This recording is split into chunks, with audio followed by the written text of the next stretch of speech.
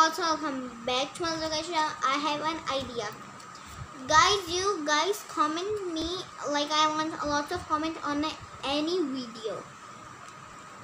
Then when I I will have a lot of comments, then I will um I will like close my eyes and then I'm gonna take another phone and just scroll down and I'm gonna close my eyes and then I'm gonna stop and on whoever's profile my finger will it be.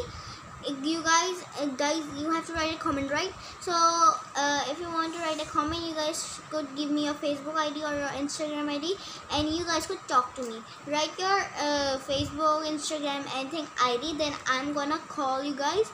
And who, on whoever's profile my finger would come and stop uh, uh, that person could talk to me on like their facebook instagram so yeah so yeah uh, hope you guys enjoy this for more. And don't forget press the bell icon. And i will see you guys in another vlog with another day